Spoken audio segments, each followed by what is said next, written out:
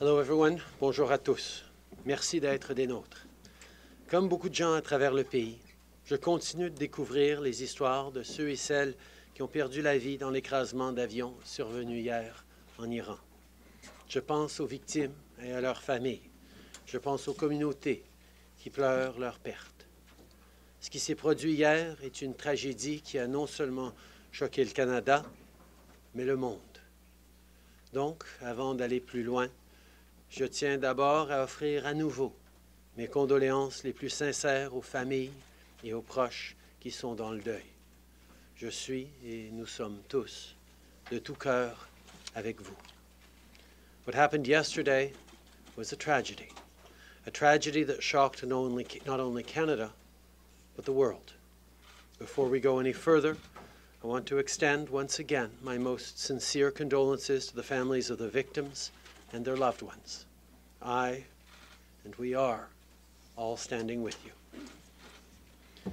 Since last addressing Canadians, there have been ongoing discussions. Since I last addressed Canadians, there have been ongoing discussions with foreign ministers, senior intelligence and military officials, including the fourth meeting of our incident response group.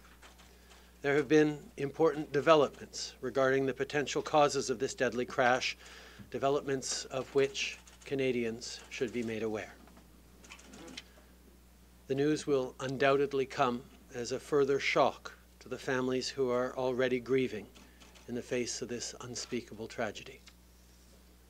We have intelligence from multiple sources, including our allies and our own intelligence.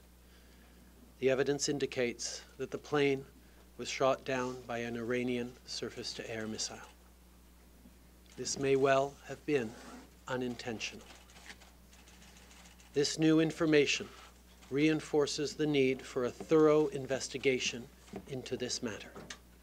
Canada is working with its allies to ensure that a thorough and credible investigation is conducted to determine the causes of this fatal crash. As I said yesterday, Canadians have questions and they deserve answers. Permettez-moi de répéter ce que je viens d'annoncer en français. Nous avons des renseignements provenant de différentes sources, notamment de nos services de renseignement et de ceux de nos alliés. Ces renseignements indiquent que l'avion aurait été abattu par un missile surface-air iranien. C'est possible que ça a été fait involontairement.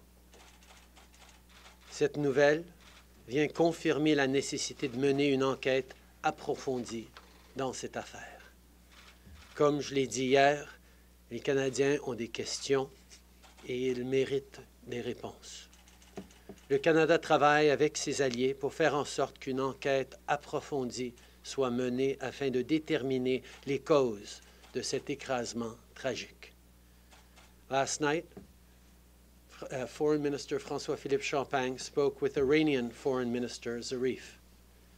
Minister Champagne made it clear that Canadian officials must immediately be granted access to Iran in order to provide consular services, identify the victims, and participate in a thorough investigation.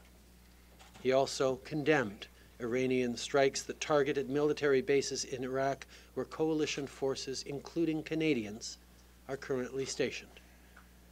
Ministers, Minister Zarif committed to continuing this dialogue with Canada as we seek answers. I spoke with Ukrainian President uh, Vladimir Zelensky earlier today and conveyed my condolences to the many Ukrainians who perished in this tragedy. He assured me that Ukraine is taking all necessary measures to ensure a thorough investigation, and we will work closely with Ukraine and our partners throughout this process. I also called Prime Minister Mark Rutte of the Netherlands. He shared with me his experience in handling the aftermath and investigation into Malaysian Airlines Flight 17. Je me suis également entretenu avec le président Macron, encore une fois aujourd'hui. Le président Macron nous offre son assistance alors que nous traversons ces moments extraordinairement difficiles. Je suis aussi en contact avec plusieurs autres dirigeants internationaux et les discussions se poursuivent. Nous allons continuer de travailler de près avec nos partenaires dans les jours et les semaines qui suivront. In light of this new information, it is now more important than ever that we know exactly how such a tragedy could have happened. The families of the victims and all Canadians want answers. I want answers. That means closure, transparency, accountability, and justice. And this government will not rest until we get that.